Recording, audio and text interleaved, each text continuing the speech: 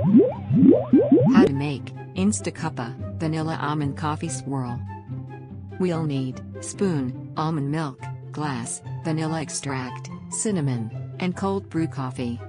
In a glass with ice, combine 50 to 100 milliliters of cold brew coffee, almond milk, vanilla extract, and cinnamon. Then simply serve and enjoy.